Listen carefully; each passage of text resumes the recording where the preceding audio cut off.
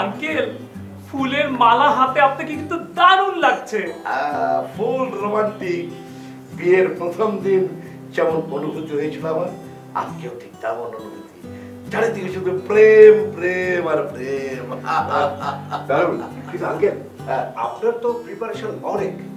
কিন্তু আন্টির কোনো প্রিপারেশন নেই। সেগুলোর যে আছে বলে মনে হয় না বুঝছ? বললাম না বিয়ের পর মেয়েদের ঘেলু থাকে না। নেই নেই ফোবিয়া শুরু হয়ে যায়। এই নেই নেই করতে করতে একশো জন নারীর মধ্যে আশি জন নারী অতৃপ্তিতে ভোগে। তারপরে গত হয়ে যায়। মানে বুঝেছ? অথচ কি জানো সুখী হতে বেশি কিছু লাগে না। বাহ! দারুণ কথা বললেন তো আঙ্কেল। ঠিক বলছিস। আমার মনে হয় কি জানেন না কেন আপনার একটি স্কুল করা উচিত। কেন? আপনি সেই স্কুলে নারীদেরকে এই বিষয়গুলো বুঝিয়ে বলবেন। সেটা কি আর এই সমাজে সম্ভব? ওই যে তোমার বড় আপা। আমার তো মনে হয় উনি মানসিক রোগী। রাইট একদম ঠিক ধরেছেন আঙ্কেল কাজেই তাকে তুমি কি শিক্ষা দেবে?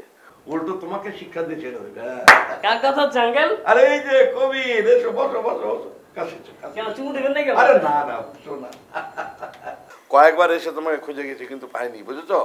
তোমার ভূত থিওরি তো সুপারহিট। প্রথম যখন বলছিলাম তখন তো নাক ছিটকাইছিলেন। আরে তখন তো ভেবেছিলাম ছেলে খেলা। এখন দেখছি ওটা তো দারুণ কাজ দিয়েছে। হ্যাঁ, তোমার আন্টি তো শান্তি চুক্তিতে রাজি হয়ে গেছে। এই যে ফুলের মালা দিয়ে তোমার আন্টিকে আমি বরণ করব বুঝেছ? এইভাবে। তাই নাকি? হ্যাঁ। আঙ্কেল কিন্তু দারুণ ফিলিং এ আছে। ফুল মুড একদম। হবে নাকি আঙ্কেল বাসর রাত? আইডিয়াটা কিন্তু খুবই ভালো। আর না একটু বেশি হয়ে যাবে না? আর ঠিক আছে আঙ্কেল বাসর ঘর না হলে না হলো কিন্তু হানিমুন তো হতে পারে। হ্যাঁ তা তো হতেই পারে। দুজনে মিলে কোথাও ঘুরে আসলেন সাগর পাহাড়। যাব যাব কিন্তু তোমাদেরকে আমি সাথে নিয়ে যাব।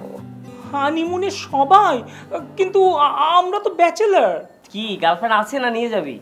যাব যাব যদি তোমারটা আমাকে ধার দাও। তো পলাশ। কিরে পলাশ কোনো খবর আছে? গিয়েছিলি? হ্যাঁ গিয়েছিলাম কিন্তু গেট পর্যন্ত। ভেতরে ঢোকার সাহস হয়নি। আমি এত করে বললাম যে আমি তোর সাথে যাই। আরে শোনো কোনো চিন্তা করো না তোমরা। এই শান্তিপুরিতে শান্তি প্রতিষ্ঠা হয়ে গেলে না আমি আর তোমার আন্টি দুজনে মিলে গিয়ে সব ব্যবস্থা করে আসব। সাথে আমরাও যাব। দরকার হলে কাজী বেটাকে সাথে করে নিয়ে তোমাদের যা খুশি কর। মাথা গরম হয়ে আছে বুঝছ? বিয়ে দিলে না মাথা ঠান্ডা হয়ে যাবে।